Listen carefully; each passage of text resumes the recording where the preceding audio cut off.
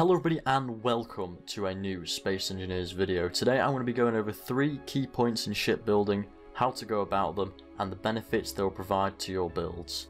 These are by no means all of the points you need to consider when building a ship, but they will contribute a large amount to the visual quality of the end result.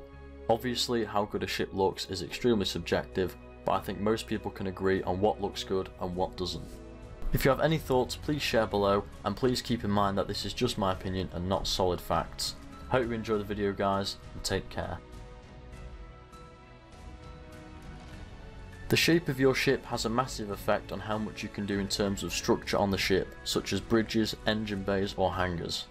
An easy way to come up with shapes for your ships is to simply seek inspiration on the workshop, sci-fi media or just Google images. Once you have an idea, it usually helps to build the frame before starting work on the ship. This will give you a much better insight into placements for your internal systems. However, if you wish to place the systems first, you can still build up the shape of your vessel from there as well. Keep in mind that in space, the dimensions don't really matter. There's no reason a ship can't be as tall as it is long from an engineering perspective. So have a play around with these ideas as they usually turn out very interesting and surprisingly practical. This one I feel is often massively overlooked by new players or shipbuilders. I know myself that when I started playing, all my ships were the same boring white.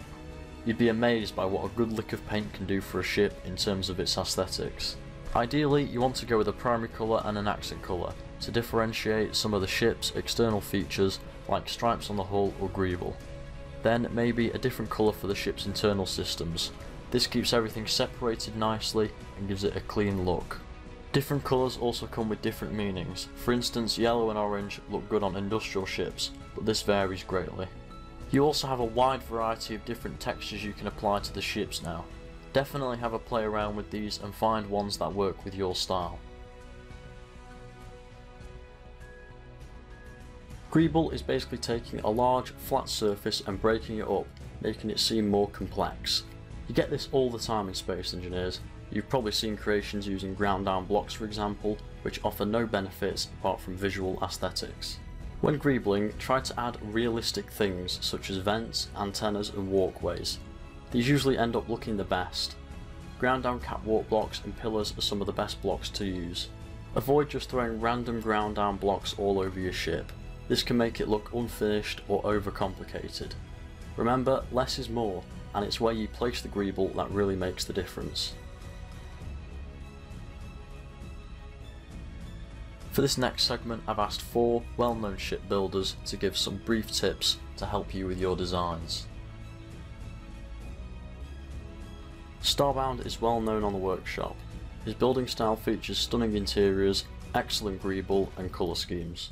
His tips for building good looking ships are break up the shape, don't spam angles, it does not equal greeble. Functional blocks can be great for greeble, and blast doors are very good for it as well. Reaver is a relatively new player in the shipbuilding scene. However, he has a large following and regularly posts ships. Reaver builds ships that fit with the vanilla game very well. His tips for shipbuilding are Avoid using colours that clash when deciding on your palette, e.g. yellow and purple. Greeble and skin application can make or break a ship's aesthetic. Visualize the shape of the ship in your head while you're building. Yoshi mainly builds rovers, however he has published some ships too and the principles are the same. His tips are as follows. Stay consistent with building styles within factions. Always have redundant core systems. And improve on existing designs if you can. Aragath is a developer at Keen. He built most of the economy ships and vessels in the various campaigns.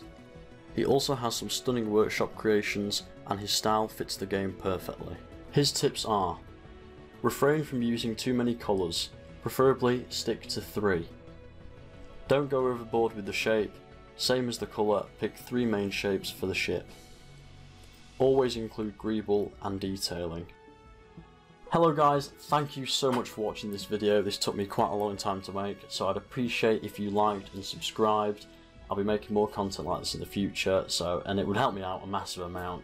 And a massive, massive thanks to Aragath, Lieutenant Starbound, Reaver, and Yoshi.